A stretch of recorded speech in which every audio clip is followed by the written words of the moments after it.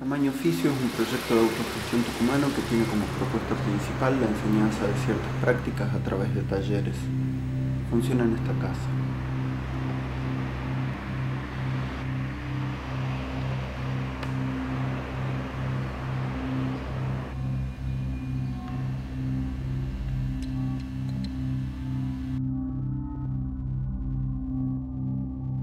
Alejandro Sarmiento es diseñador industrial y docente.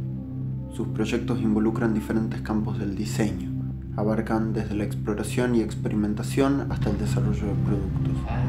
En esta oportunidad visita Tucumán para realizar su No Lab Day, taller de experimentación con materiales en proceso de reutilización.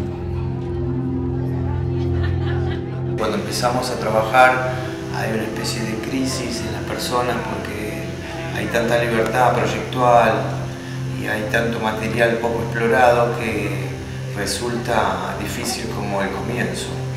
Así que el primer día generalmente todo el mundo tiene como una especie de angustia, que a mí me parece muy valiosa, porque en definitiva contribuye a, que se establezca un pensamiento distinto frente a cómo encarar la situación y ya en el segundo día la gente empieza a actuar de otra manera y empieza a encontrar posibilidades en todo esto que antes no la tenía.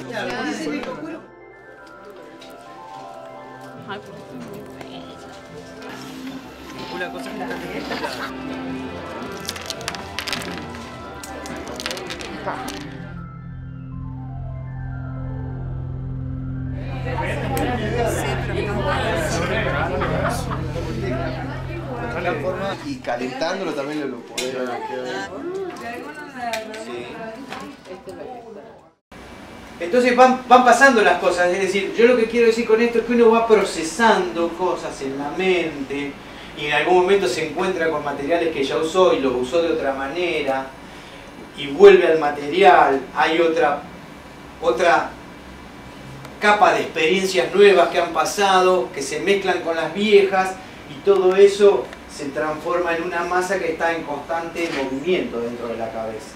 Es un poco lo que genera después un último producto. Claro, bueno. Bueno, por eso. Hay muchas cosas que son como de visión eh, inmediata. Hay que seguir, porque si te está tirando una, seguramente te puede tirar muchas más el material. Está grabando. Bueno, yo he llegado a tamaño oficio a partir de conocer a, Ale Fanlo en unos talleres que hemos hecho hace unos años atrás aquí en Tucumán y supongo que de alguna manera han generado cierto tipo de influencia en Ale como para entender ciertos modos de hacer las cosas y ciertas búsquedas. Y ahora que él tiene como su, espacio, eh, de algún modo este, le ha interesado replicar este modo de hacer las cosas en su taller y, y estamos ahora, bueno, hoy hemos terminado taller y estamos montando la muestra de los resultados que son bastante variados, es decir, porque en definitiva la propuesta tiene que ver con las experiencias propias de cada persona y cómo esas experiencias influyen tanto de modo consciente o inconsciente en cada uno de nosotros y cómo surgen nuevas ideas a partir también de una materialidad particular que generalmente son cosas que no utilizamos o elementos que cotidianamente vemos que tienen una significación cómo sacarlo por ahí de ese contexto y obtener un objeto, una trama o un, algo que en definitiva pueda contribuir a futuros proyectos.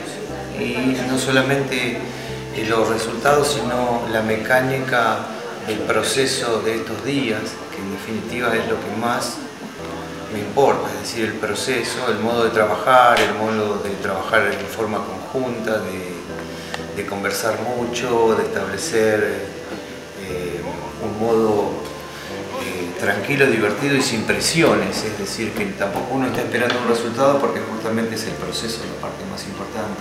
El último día, que es el día que menos tiempo tenemos porque vamos a montar la muestra de lo que hemos logrado, eh, todo el mundo quiere seguir produciendo, es como que agarró el envión necesario y el tiempo se les acorta como cuando pareciera que más pudieran hacer las cosas. Y eso es lo que me gusta que se lleven, porque en definitiva eso es lo que yo quiero que les quede y que sea la motivación para insertar todo este nuevo mundo de experiencias eh, distintas a su condición de artista, diseñador cotidiano.